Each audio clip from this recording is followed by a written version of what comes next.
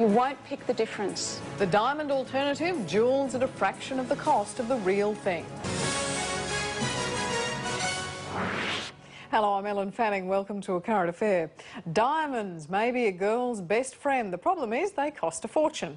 Well, now a new diamond look-alike has been launched on the jewellery market. It's much cheaper than the real thing.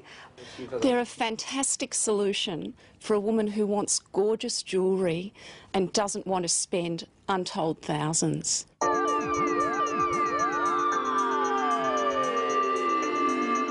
It looks very good. It looks well made. I'm not much of a diamond connoisseur, but very good. They're called diamond simulants, the latest in diamond lookalikes without the diamond price tag. I think it's clever. I mean, girls can look like a million dollars without spending anywhere near the sort of money that they'd spend on natural diamonds. Margot Gorski is spokesperson for Gordon Max, the company selling the stones in Australia. How close are they to the real thing? They're very close, actually, but they are a diamond simulant. They're not a naturally mined diamond, but they are close, yes. Do they sparkle like the real thing? Absolutely. They sure do. And if you look at them through a jeweller's loupe, you get that beautiful hearts and arrows effect that you only get with a naturally mined diamond. When it comes to things that sparkle and shine, we've seen plenty of fakes, from costume jewellery to rhinestones and cheap cubic zirconias. There's a veil of secrecy over how these latest offerings are made.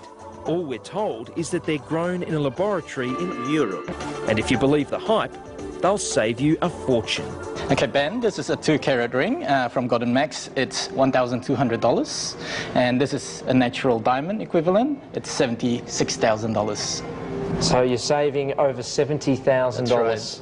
Company director Michael Rusley says many of his customers are young couples who'd rather spend their money on a honeymoon or a deposit for a house instead of an expensive ring. He says pieces start from $300. This is the Gordon Max Diamond Simulant, and it's retailing for $1,200.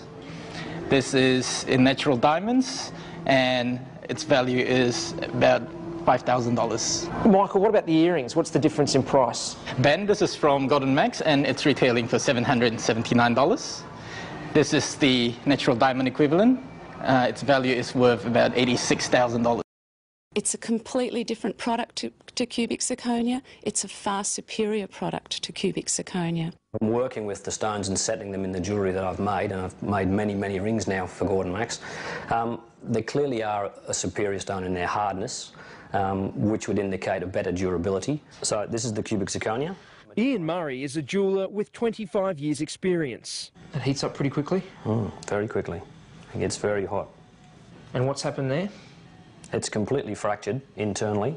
He works for Gordon Max and wanted to prove to us the diamond simulant is no cheap cubic zirconia. Well, again, this is a Gordon Max simulant of an equivalent size to the CZ, and we'll just heat this up and see what happens. What's happened there, Ian? Well, basically nothing. Um, we heated the stone up to the equivalent of the CZ, and um, nothing has actually happened to the internal structure of the stone. There's no cracks, no blemishes. It's still as it was before. But does the imitation pass the most important test? Tell me which one is the fake diamond. I have no idea, but if I was to guess, I'd say that one, yeah. That's the real one. Real one. Do you reckon they're pretty... This one's a pretty good fake? I think they look exactly the same. Wouldn't have the foggiest. They both look very good. You think they're um, pretty close? They're very close. They're very hard to tell. Isn't this an alternative to a real diamond? For fun. As costume jewellery, it's an alternative to a real diamond.